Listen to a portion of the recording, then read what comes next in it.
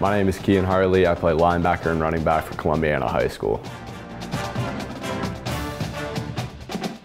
I grew up watching players like Mitch Davidson and Jacob Cross who really just show that this takes a lot to be a part of this.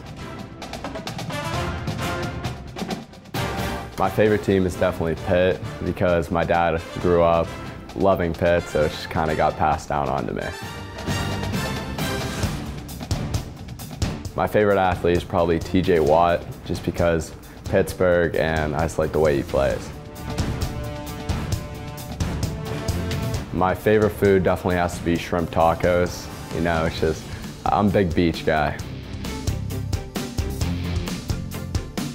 My favorite movie definitely has to be Step Brothers.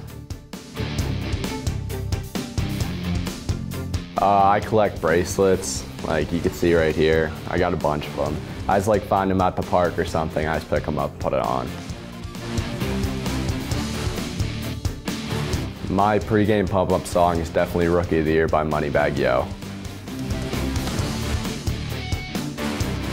I definitely most admire my father because he's always been there. He's been the one that's really got my name out, tried to like push me the hardest.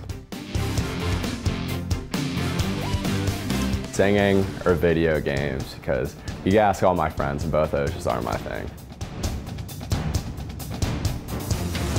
My biggest fear is definitely clowns. Ever since I was little, I've always hated clowns. My celebrity crush would definitely be Faith Ordway. Okay, who's that? Uh, she's an Instagram model. She's, yeah. I definitely think that Lowellville is going to be one of our biggest games because we have to show everybody that we're not the same team we were last year.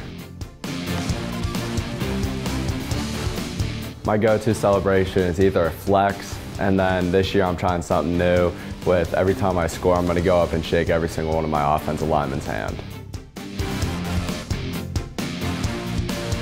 Best part of Friday nights is definitely that pregame speech speech, which really just gets me going and then running out and just getting to play the game I love.